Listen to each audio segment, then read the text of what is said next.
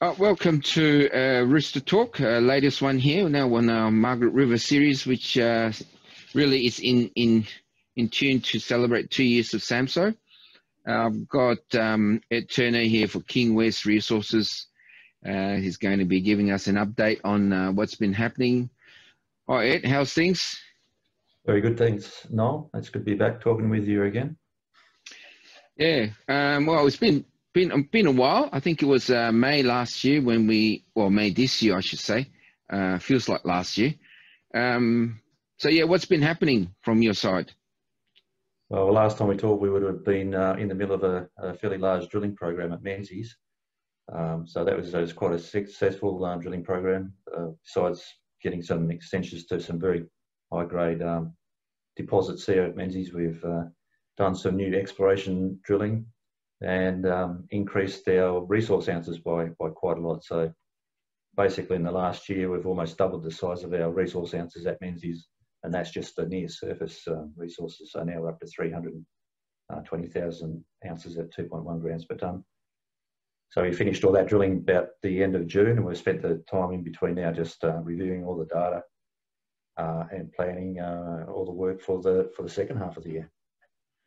Yeah, you guys must be quite encouraged. I know I've seen some of your results since then that at least you're still picking up those higher, bigger numbers. Great. Obviously, on overall, it, it sort of mellows down to a smaller figure, but uh, it does must give you guys encouragement in terms of um, that you are hitting what you, you are predicting or hoping for.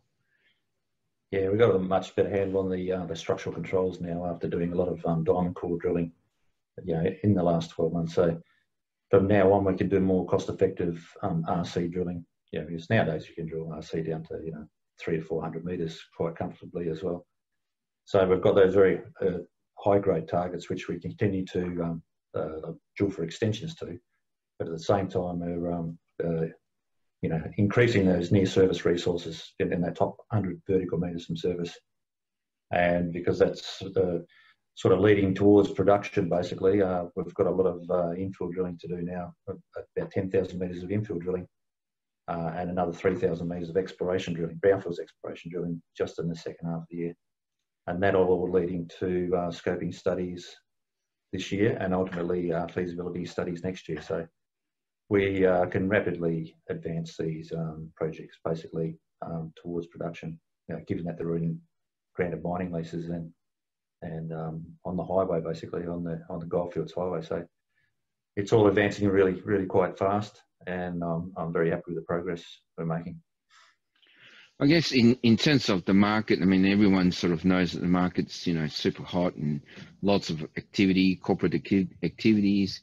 Yeah. You guys are raising money. Um, is, do, do you think it's easier to, to raise money or is it sort of got complicated because you've got more stories out there and and the, the investors' anticipation of um, returns is not really directly correlated to how exploration or building up a, a solid foundation story is about. So, what, what do how how do you think about that?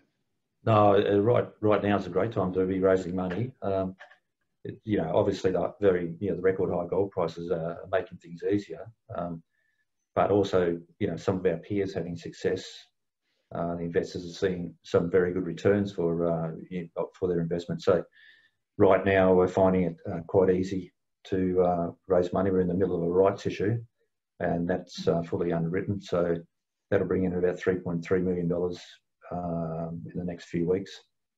And you know we potentially could have raised more, but uh, we're happy with that because we're also bringing in 2.1 million dollars from sale of non-core assets. So after that, we'll have about $6 million in the bank and we'll have enough to do all the, uh, the drilling we plan to do for, for the next um, sort of uh, six to nine months, as well as do scoping studies and feasibility studies.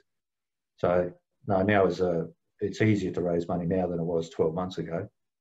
We, of course, you never know how long that's going to last, but uh, it's, an, it's an excellent time in the market for, for gold explorers and, and uh, particularly if you've got a pathway towards production, which um, you know, we're very conscious of.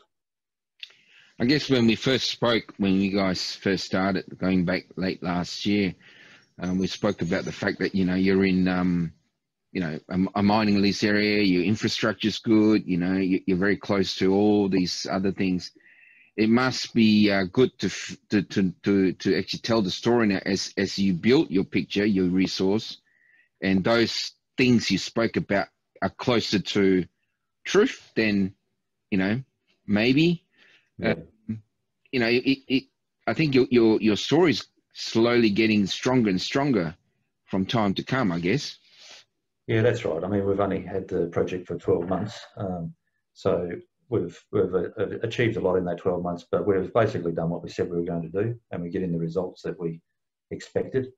Um, we still like to find another big uh, new high grade uh, deposit, you know, something in like 15 to 20 grams per tonne. Uh, we're working on that. That's a sort of incremental um, uh, process right now.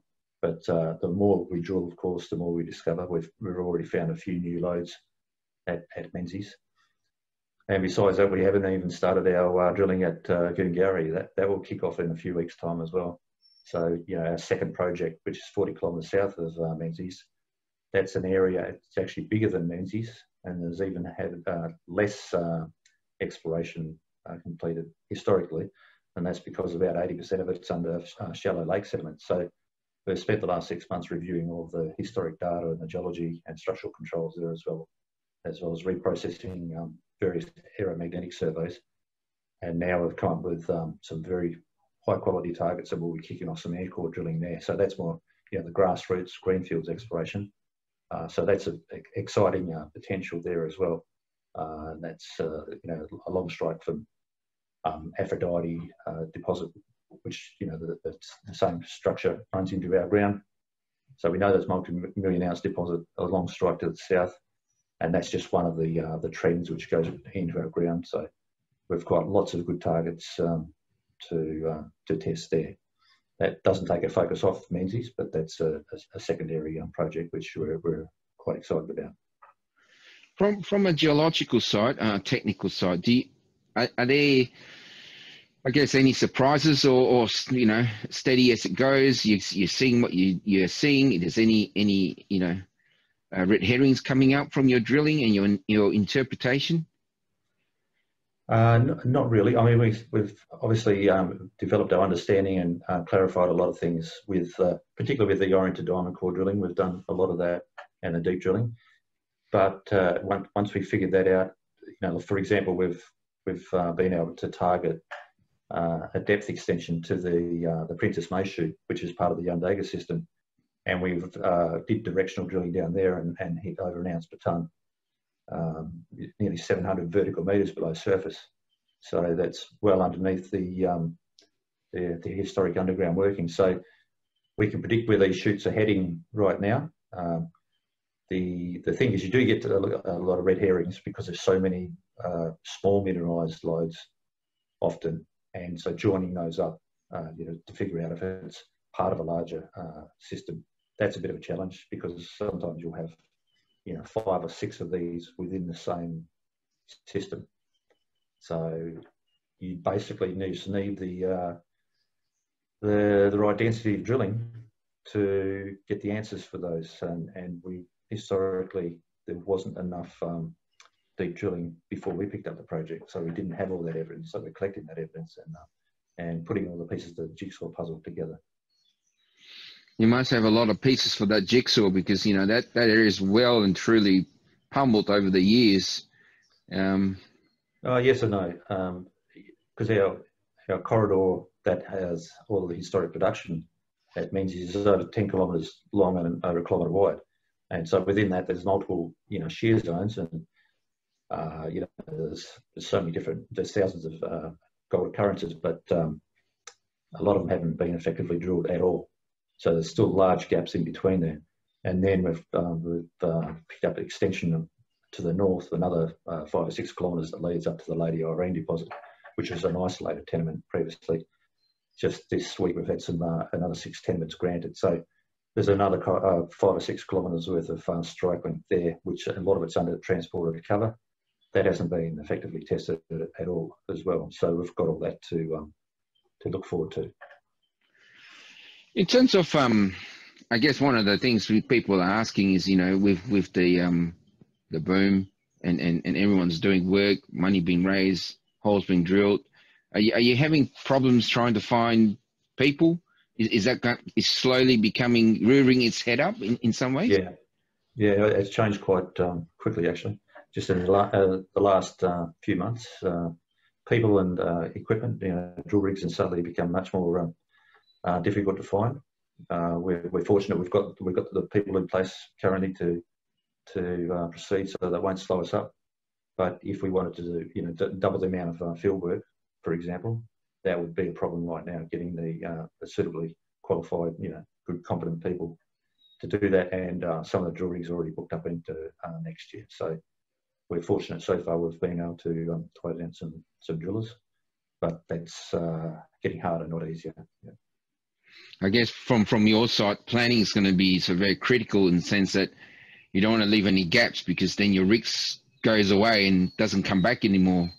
Um, no, no, you've got to plan it. Uh, uh, you know, be quite careful with the with the planning, and um, no, we, are putting a lot of effort into that to make sure we can cover all the, the logistical um, issues there. And um, yeah, you don't don't take for granted that if you let the rig go, it's going to come back in. Uh, so.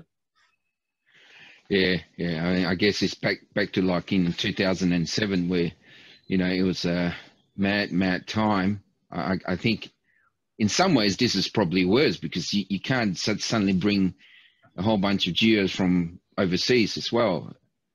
Well, that's a lot of the uh, the, the, problems. Uh, you know, you can't even bring from interstate. So, uh, you know, last year we had a whole influx of graduate geologists from from Europe and even um, you know Brazil and, and places like that. And uh, in the, the, drilling companies, they've been restricted by you know a lot of their um, people have been travelling from interstate, and now suddenly they can't. So that's that's affected them availability. So they they might have the rig, but they might not have the drillers. And um, uh, it's the same with the uh, geologists. Yeah. I guess um, you know at this point in time, if you know, I, I like to get um, you guys to have have a spiel, you know, to to to sort of the market, like what what is why would you want to buy your shares or, or hold them and wait for your your your grail to happen? Well, that five minutes, five second statement. Yeah, well, I was just doing some um, calculations yesterday actually, and uh, if you, you know, our, our average um, valuation per resource ounce is only fifty dollars Australian, and um, you know we think we can keep on building our three hundred and twenty thousand ounce uh, resource base up, up to plus five hundred thousand ounces potentially this year. So a lot of our peers are already rated at close to hundred dollars per resource ounce. So we think there's a lot of upside there, um, and it's just getting that recognition uh, in the market uh, to get to get the new investors in there and, and get them to realise the, the upside. And then that's not uh, factoring in all of our uh, exploration potential outside of the uh, the existing resources. Yeah, I think in, it's a, you know it's it's one of those things now. The market's so hot, everything's running. You know, I like to sort of highlight those that have some sort of fundamentals in play, or at least you know well advanced, because it's really hard to. I mean, I had a, a, a um, um, conference or, or, webinar yesterday with the Singapore Mining Club, and one of the questions was, you know, what would you tell the members? I guess from from afar, from the investors, they they look at the sector and everything's running in what's solid and what's not. You know, that fundamental compromise, because you know, in our sector, is a lot of time it's about um, corporate influence as opposed to technical influence in our in our sector. Um, and it's it's it's good to see like the likes of yourself with some solid stuff to talk about. Yeah, I mean, yeah, we're we're, we're proving up, up, what we said we would uh, we, were, we intending to, uh, to do 12 months ago. So, you know, we're starting to get the runs on the board. We need to keep on doing that. But uh, one other factor in our favour is, um, as I mentioned, being with our location being within trucking distance of uh, multiple uh, processing facilities. That means we don't need to actually reach a critical mass for our resource base, base uh, before we, you know, have to invest in building our own plant. So there's a lot of uh, cost savings there as well as time savings. And being within, within granted mining leases means we can, you know, speed up the whole process getting into production. Whereas a lot of companies might have a fantastic uh, resource base, but being a very uh, you know remote area without having that infrastructure uh, support, and then they they need to get to a you know plus one million ounce uh, resource uh, base before they can consider investing in uh, building a processing plant. So you need to consider those sorts of sorts of things as well. Mm. All right, Thank you again. Thanks, thanks for giving us the time. Um, it's it's always good to have a chat to find out what you guys are doing. It's it's hard to know the story when you just look at charts, I guess, and and share price movements. Yeah. No, exactly. No, it's been a pleasure. No. All right. Thanks, Ed.